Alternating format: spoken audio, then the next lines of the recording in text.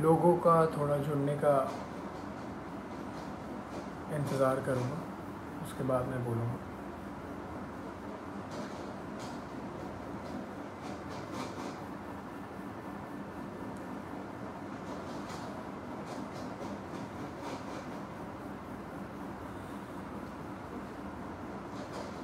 जी। प्रणाम, मैं सार्थक रंजन, पप्पू यादव जी का पुत्र।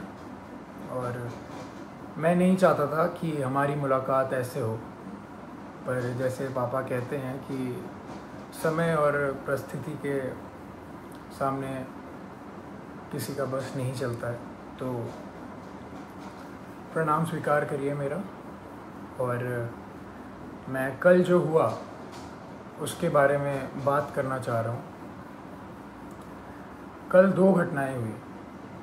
एक जो बिल्कुल नहीं होनी चाहिए थी और दूसरी के बारे में सोच के सुकून मिलता है। कल हम सबने मिलके एक व्यक्ति के, एक व्यक्ति के ऊपर अन्याय जो जो हुआ है, हम सबने मिल के ट्विटर पे हमने उस ट्रेंड को नंबर वन कर दिया और काफ़ी घंटों तक रहा। मैं, मैंने भी ट्वीट किया घर पे अपने आराम से सोफे में बैठ के। उसे नंबर वन ट्रेंड की दौड़ पे लगे रहे, सोचा। पर वो कल हुआ और कल चला गया है। और अब जब जेल जाने की बारी आई है तो मेरे पिता अकेले हैं। कल नौ बजे से लेके कल आज सुबह तीन बजे तक, वो सिर्फ़ एक मुजरिम की तरह ट्रीट हुए हैं। और मैं जानना चाहता हूँ कि उनका जुर्म है क्या। हॉस्पिटल्स की जो हालत है बिहार में, उसकी सच्चाई दिखाना जुर्म है या दवाइयाँ नहीं हैं तो जिनको ज़रूरत है उनको दवाइयाँ पहुँचाना जुर्म है? लोगों को खाना देना जुर्म है या जो काला बाजारी चल रही है दवाइयों की, उसको उसको पेश करना जुर्म है? सबसे बड़ा जुर्म मेरे को ये लग रहा है कि एक नेता के घर पे जो छापा मार के उन्होंने आप लोगों के लिए जो एम्बुलेंसेस यूज़ होनी थी, वो बस घर पे पड़ी हुई थी। और उन्होंने वो बस ये चाह रहे थे कि वो सारी एंबुलेंस यूज़ हों आप लोगों के लिए। मुझे लग रहा है कि यही जुर्म उनका सबसे बड़ा रहा।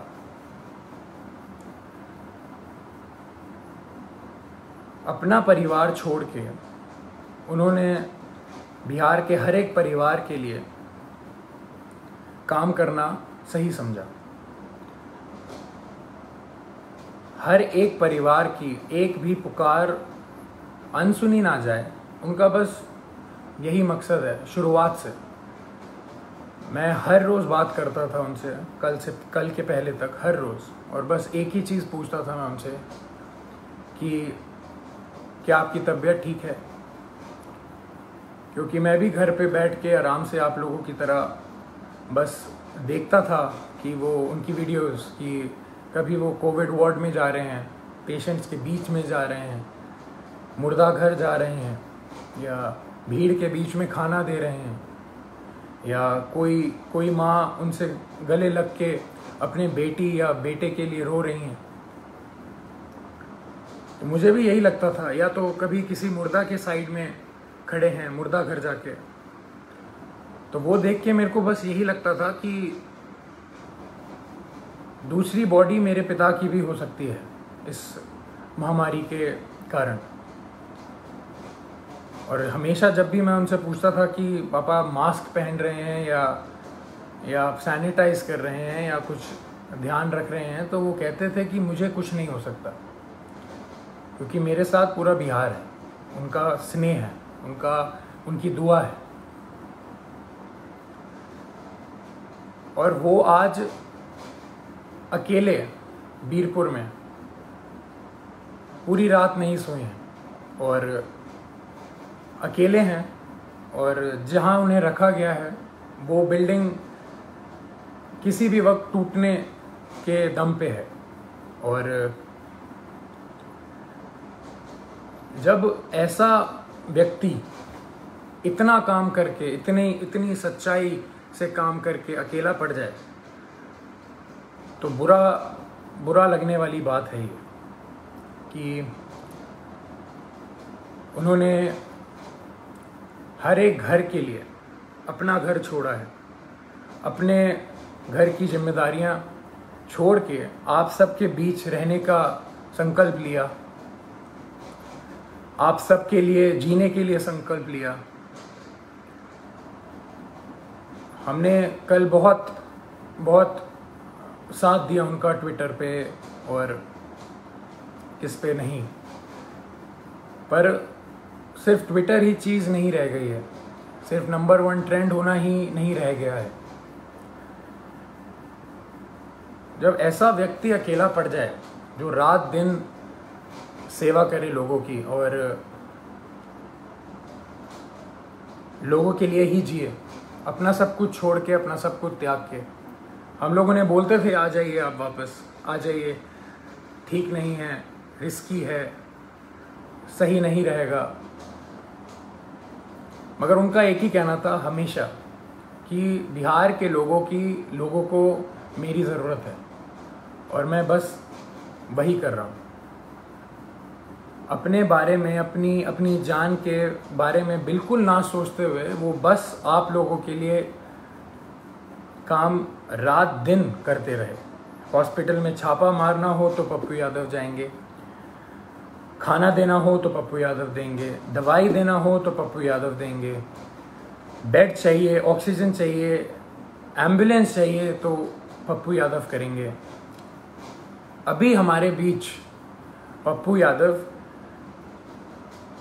कौन बनेगा? कहाँ से लाएँगे हम दूसरा? हम उन्हें अकेला इस टाइम पे नहीं छोड़ सकते। मैं बेटा हूँ, इसलिए ये सारी बातें कर रहा हूँ, नहीं। अगर मैं सिर्फ़ एक बेटे की तरह सोचता तो शायद मैं उनको ज़बरदस्ती बहुत पहले घर बुला चुका होता। पर मैं एक नागरिक की तरह सोचूं तो बहुत बुरा लग रहा है। जो आदमी रात दिन एक करके सिर्फ़ दूसरों के लिए जिए और उसके साथ ऐसा अन्याय हो ये बिल्कुल मंजूर नहीं है, ना हम लोगों को मंजूर करना चाहिए। मैं पहली बार आया हूँ आप सबके सामने और ये बिल्कुल भी एक्सेप्ट करने वाली चीज़ नहीं है जो हुआ है मेरे पिता के साथ कल। कल से हुए जा रहा है और अभी भी हो रहा है। बाढ़ का पानी हो, बाढ़ के पानी में चलना हो या इस महामारी के टाइम पे हॉस्पिटल जाना हो या भीड़ में जाना हो या मुर्दा घर जाना हो तो सिर्फ़ पप्पू यादव ही जाएगा। और जेल जाना हो तो सिर्फ़ मेरे मेरे पिता पप्पू यादव ही जाएँगे। ऐसा क्यों, ऐसा मैं समझ नहीं रहा हूँ, ऐसा हो क्यों रहा है? ऐसा होता क्यों है? हमेशा एक आदमी जब दूसरों के लिए जिए जा रहा है, चौबीसों घंटे तो जब उसको ज़रूरत पड़ती है तो वो हमेशा अकेला कैसे पड़ जाता है? हमेशा हमेशा उसकी आँखों में आँसू रहते हैं। हर एक काम करने के बाद हम अकेले पड़ जाते हैं। उसका पूरा परिवार अकेले पड़ जाता है। हम हम हम क्यों अकेले रह जाते हैं? जब जब वो व्यक्ति रात दिन बस दूसरों के लिए जीता है तो दूसरे क्यों नहीं खड़े हो सकते उसके लिए? क्यों नहीं आवाज़ निकाल सकते? क्यों नहीं हम अगर अगर एक पप्पू यादव बिहार के लिए इतना कर सकता है तो सोचिए दो पप्पू यादव या दस पप्पू यादव या एक लाख पप्पू यादव कितना करेंगे? मैं कहूँगा मेरे पिता का नाम सिर्फ़ एक नाम नहीं है। वो सिर्फ़ एक व्यक्ति नहीं है, वो एक वो एक जुनून है। जो वो जुनून हर एक के अंदर रहता है। मेरे अंदर भी है, मेरी बहन के अंदर भी है मेरे भाई के अंदर भी है और आप सब के अंदर वो सारा जुनून एक साथ अगर काम करे तो हमारा जो पहला पप्पू यादव है, वो कभी अकेला नहीं पड़ेगा। मैं मैं दिल से खुशगुजार हूँ आप सबका कि हम सबने कल बहुत बहुत प्यार दिया, बहुत स्नेह दिया मेरे पिता को। पर अभी रुकने की बारी नहीं है। उनको अभी तक हरास किया जा रहा है। जैसे कल रात से वो सोए नहीं हैं, खाए नहीं हैं, उनको दवाइयाँ, उनकी, उनको उनको दवाई खानी होती है, उनको शुगर है, उनका सवा महीने पहले ऑपरेशन हुआ है। राइट पैर की नसें उनकी वीक हैं तो खून सर्कुलेशन नहीं होता है उनके राइट पैर में अच्छे से। और किस जुर्म में ये सज़ा उनको दी जा रही है, मैं ये पूछना चाहता हूँ। और जिनकी वजह से हो रहा है, वो बहुत अच्छे से जानते हैं कौन कौन है। और ये बिल्कुल ना समझें कि किसी को नहीं पता है कि किसकी वजह से हो रहा है ये, और क्यों हो रहा है। यहाँ कोई बच्चा नहीं है और कोई डरा हुआ नहीं है। पप्पू यादव ना कभी किसी से डरा है, ना कभी डरेगा। जब ये जुनून हर एक के अंदर है और हर एक बंदा, हर एक हर एक माँ, हर एक बेटी, हर एक भाई जब उसके पीछे खड़ा रहेगा और उसको पूरा विश्वास है कि हर एक बिहार का व्यक्ति उनके साथ है, वो कल साबित हुआ है। मैं बस ये कह रहा हूँ कि वो सिर्फ़ कल पे ही सीमित नहीं होना चाहिए। ये ये मुहिम चलती रहनी चाहिए। यही यही मेरे पिता का सबसे बड़ा, सबसे बड़ी जीत है। उनको पद से कोई लेना देना नहीं है। उनकी सबसे बड़ी जीत ही इसमें है कि उनके साथ सारे सच्चे लोग खड़े रहें। पूरा बिहार खड़े रहे। बिहार खुश रहे। उनकी सबसे बड़ी जीत यही है। तो जब हम सब में ये जुनून है तो हम सब मिल के इस मुहिम को, इस इस भ्रष्टाचार के खिलाफ जो हमने मुहिम छेड़ी है, जो जो ये भ्रष्टाचार मेरे पिता के खिलाफ हो रहा है, जिस जुर्म में जो कोई नहीं बता सकता, जो कोई बता ही नहीं सकता कि जुर्म है क्या। मैं चाहूँगा हम सब एक साथ मिल के इस भ्रष्टाचार के खिलाफ जो मुहिम मेरे पिता ने छेड़ी है। लाखों की कदार में हम एक सब मिल के इसके खिलाफ आवाज़ उठाएँ और मेरे पिता को जो जो जीत हमेशा देखी है उन्होंने बिहार के लिए, वो वो वो रास्ता, वो राह, वो पथ पे हम सबको चलते रहना है। इसी में उनकी सबसे बड़ी खुशी और सबसे बड़ी जीत है।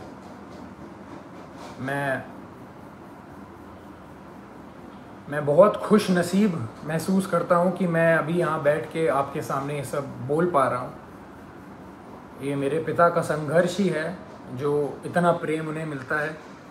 और उनके नाम की वजह से मैं यहाँ पे बैठा हूँ तो आप सबके बीच में मेरी आवाज़ जा पा रही है। उनके संघर्ष को हम सबको मिल के उसकी आग को उठा के ही रखना है बुझने नहीं देना है।